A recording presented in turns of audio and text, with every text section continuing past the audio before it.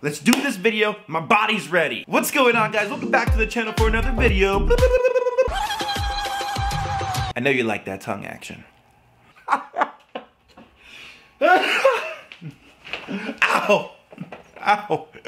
Today, you lovely people are in store for another tutorial because I'm gonna show you how you can create your own 3D Fortnite thumbnail on your mobile device. No computer required, no USB required. It's gonna be easy peasy, lemon squeezy, as a cheesy as it's But yeah, guys, if you're interested in getting thumbnails that look like this, and this, and like this, and even like this, if those are the kind of thumbnails you're looking to make, stay tuned and watch this video. Also like the video up, subscribe to the channel if you wanna see more videos like this, and I'll hook you up.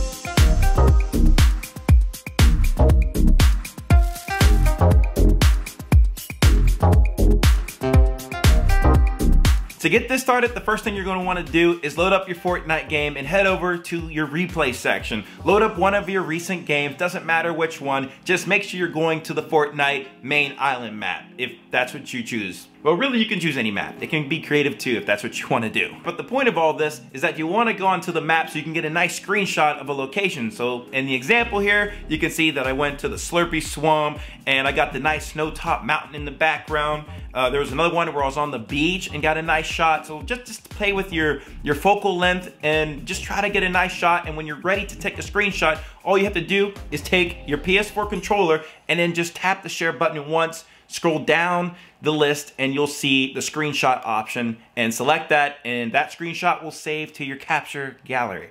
Now the next part here, you're ready to take that screenshot, move it over to your phone. So now there's two ways you can go about doing this. The first way is that you can message it kind of to yourself even, though you really can't. Uh, PlayStation doesn't allow you to message yourself. So what you can do is either make a separate account or you can message the photos to a friend. What I ended up doing was I navigated over to the messaging section of the PlayStation and I found a friend that I wanted to just send the screenshots to. I attached and sent each screenshot in the message to him that I want to get onto my phone. Once I was done sending the photos to him, I downloaded the PlayStation messaging app. I logged in with my regular PlayStation credentials. I was able to go straight to our conversation and I saw the screenshots right there and I was able to easily download them.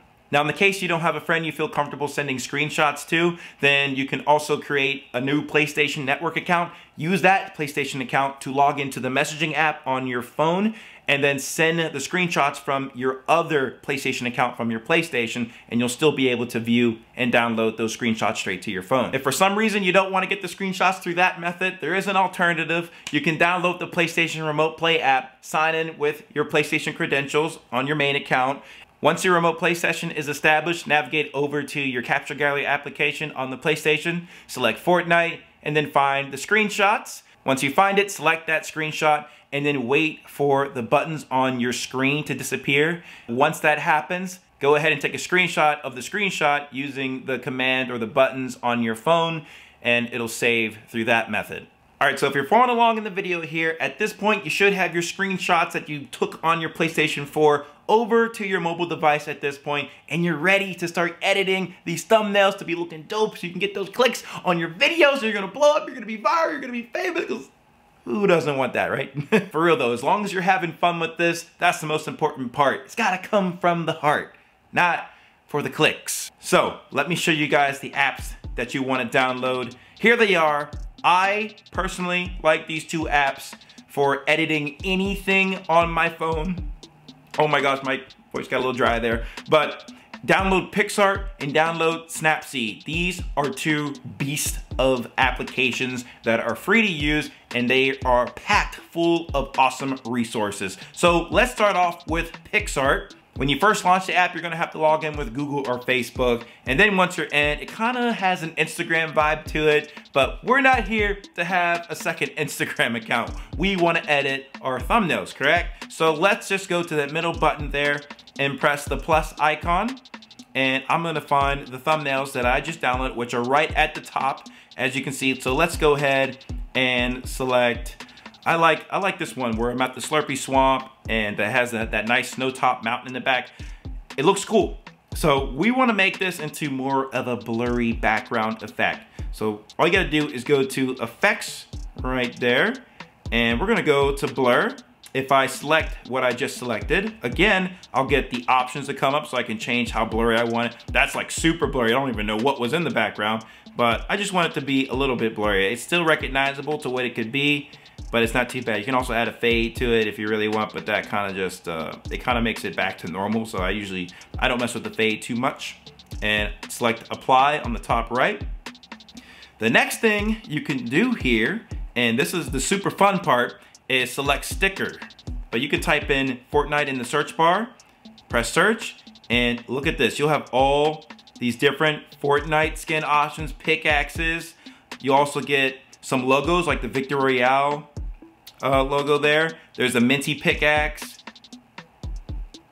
Uh, there's some guns here as well. You, there is such a large selection, more than I've ever been able to find online more than what fnbr.com has. Like they have the PNG where you can copy it and then put it in the Photoshop and make your own thumbnails, which is what I've done a lot. But these, these are damn they're very custom. and if you look at some of these stickers, they have real animations that you can't possibly create in Fortnite unless you have Blender or you're into real 3D graphic designing. But this is cool that they have this. So let's just go with this skin here. So I'm gonna actually put her on the side here, like that. Let's do her like that. Uh, keep the opacity 100, that's cool. Uh, you can also make adjustments though if you wanna up the contrast or something like that. Um, maybe you can up the saturation. Saturation is okay to usually mess with a little bit. But once you have it pretty much where you want it, you're gonna select apply and select apply again and that'll save it to the thumbnail. Some other things you can add, more stickers, Let's try to find the Fortnite logo. So I think I found it last time by typing in Fortnite uh, PS4. And if I scroll down here a little bit here, there's the logo, Fortnite. So I can put the Fortnite logo in here. Let's add the kill icon too. So we'll do Fortnite kill. Uh, there's like either, any of these icons work pretty well. Let's go with this one here. All right, that looks good. I'm just gonna apply that and we need some text. I say this app is a beast when it comes to text. So let's go in here and let's just type in, let's say we got 20 kills because we're just that good. There you go. And we can actually adjust the font too really nicely. Has a whole bunch of font options. We can even blow it up here and just scroll through what font do we like the most. Let's just go with this one here. That looks kind of cool. We can even add a stroke to it to make it stand out a little bit like that and apply. And just that easy, I have a finished thumbnail that I can upload to YouTube and save. So let's also check out Snapseed. I use this app mainly just to buff up the look of the photo. Sometimes it'll have some presets here for you that you can use just to make it pop a little more. I'm just pressing the screen so I can see the before and now that's the after. Look how, how it accentuates the look of the thumbnail. If you want that, just press the check mark, you can keep it. Uh, but you can also check out the tools. There is a little bit of a learning curve to this application as there's just a lot of different settings. But I say the main parts to stick with are the, the tune image. So you can adjust the brightness of the thumbnail like this. Go ahead and adjust the contrast. The saturation, these are like all the, the big the big key things that you would you would edit. Ambience if you'd like highlights, less highlights, more highlights. And I'm done with this section, so I just select the check mark and go in the details, add some more structure to it, and also the sharpen. You can maybe make it slightly more sharper. If you really wanna get a little crazy, you can go with the Glamour Glow here, and it really just glows it. I don't know what to say. I don't know what this effect is, but it really glows it up. But we'll keep it like this, and we will export it. That looks pretty freaking dope, dude. If you're ready to upload that thumbnail to a YouTube video, go ahead and make sure you have YouTube Studio downloaded. If you don't have that downloaded already, are you really a YouTuber? I'm gonna hop into one of my videos right here. This is an unlisted live stream. I'm gonna go and select the edit icon. And from here, I'm just gonna select edit thumbnail. And I'm gonna just change it. And we're gonna use that most recent thumbnail that I just made. Look how, look how nice that looks.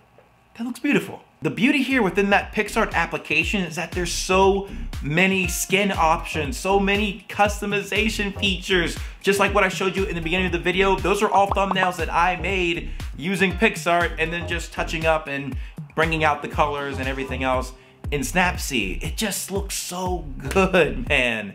Like, use this, guys. If you don't have a PC editor, it looks just as good. Some people won't even know the difference. In, in, in some cases, man, that looks a little better than whatever I've been doing on the computer. I'll be honest. Computer went off. But that's gonna do it for today's video, guys. I hope you enjoyed it.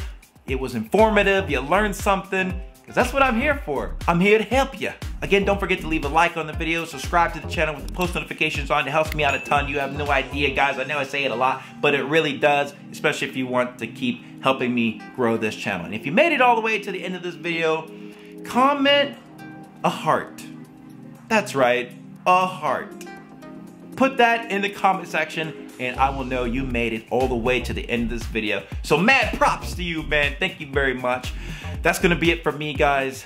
I will see you guys very soon. Peace out.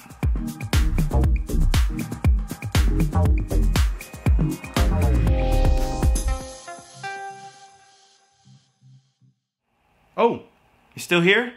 Go check out the link description below. I'm doing a giveaway. Follow the Gleam link. It's pretty straightforward. All right. Bye.